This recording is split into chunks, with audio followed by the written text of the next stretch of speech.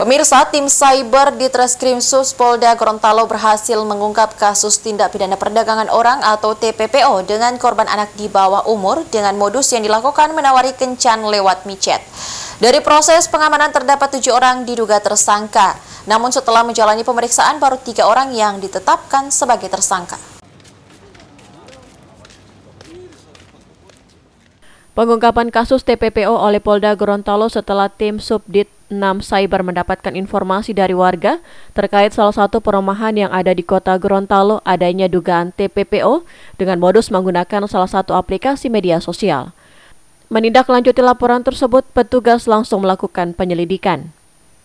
Pada Minggu 11 Oktober, tepat pukul 3 dini hari, petugas langsung mengamankan para mucikari bersama beberapa wanita yang akan mereka dagangkan kepada para lelaki hidung belang. Pada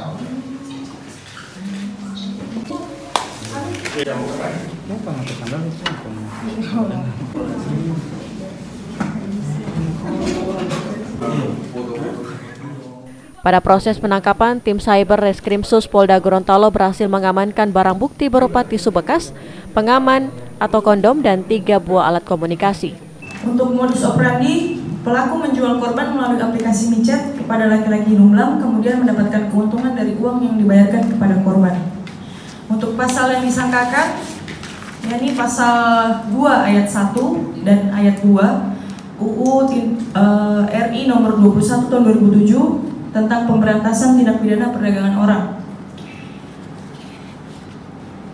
Sub pasal 296 KUHP, sub pasal 88 Undang-Undang Perlindungan Anak.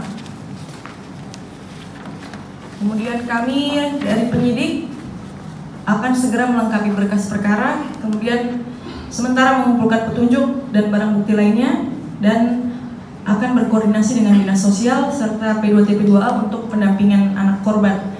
Kemudian berkoordinasi dengan ahli tindak pidana perdagangan orang. Hingga kini polisi masih terus melakukan penyelidikan mendalam dan akan berkoordinasi dengan pihak terkait seperti Dinas Sosial dan P2TPA untuk pendampingan korban.